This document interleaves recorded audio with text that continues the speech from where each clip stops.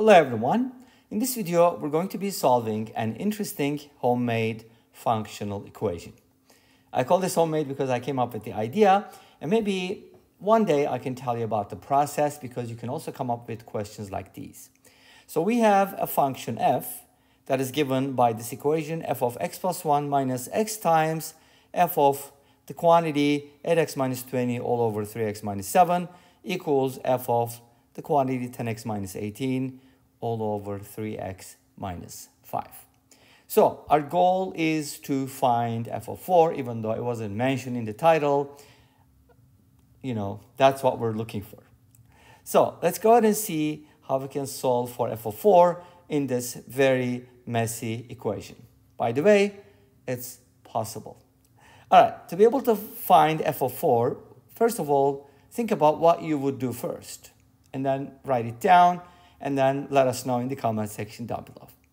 So if I saw a problem like this and they were asking for f of 4, my first reaction would be replacing x with 3 because that would give me f of 4. I don't really care about the other things. I'll take care of those later, but that will be my initial reaction.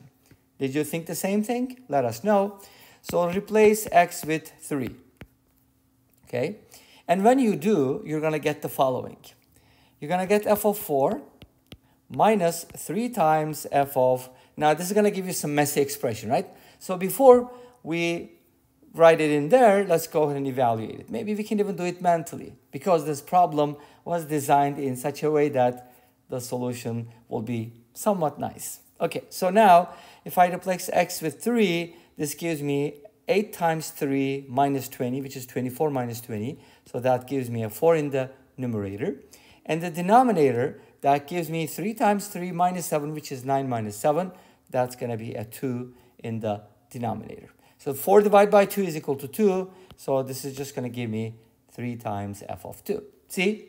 It was simple, right? Now we're going to keep doing this. Replace x with 3 again. And don't lose sight of the fact that you have to use the same x value everywhere, okay?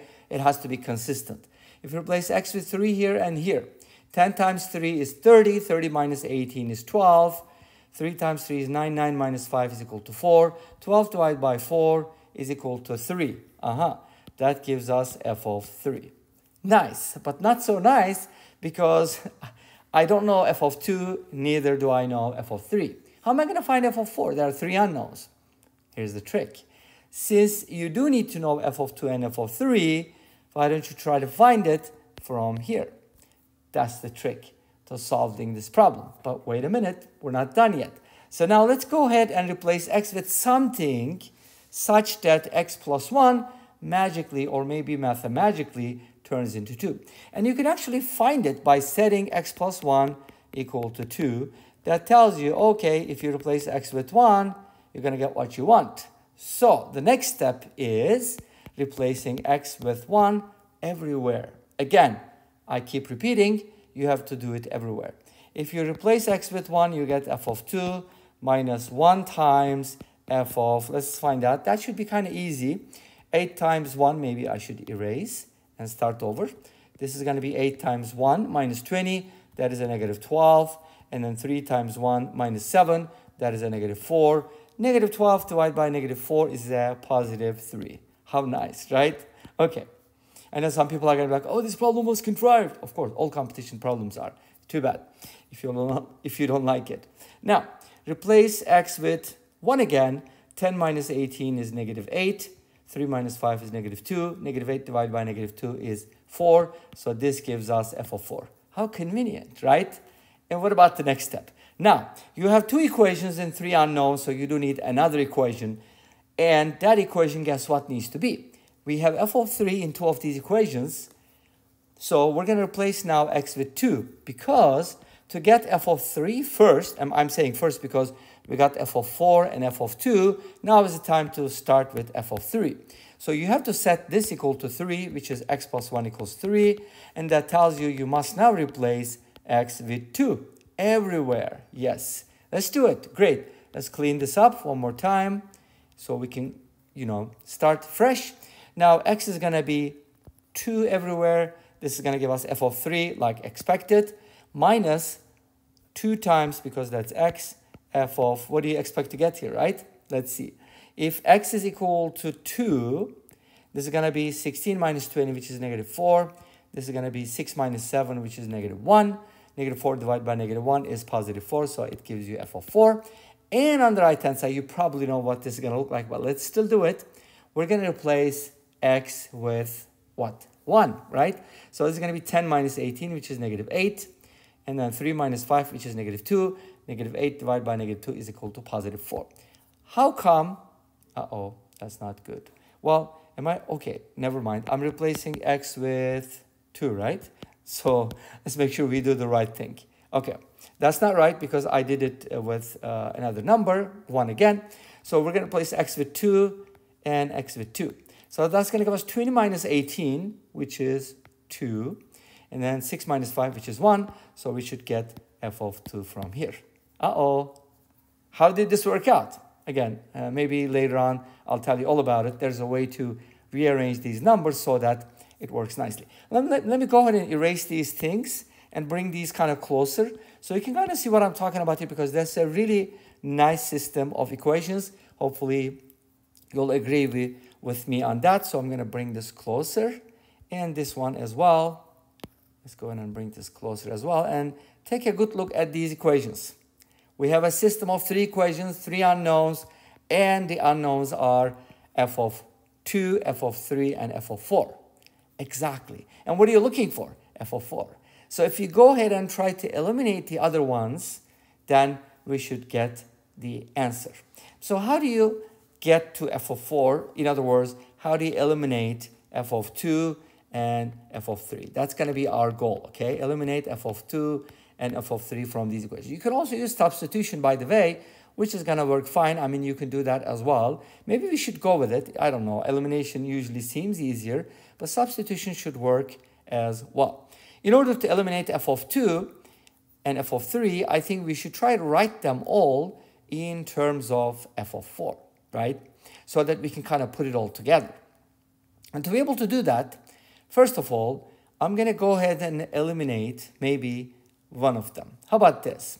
Since both of these have f of 4, we might probably just add these two equations, don't you think?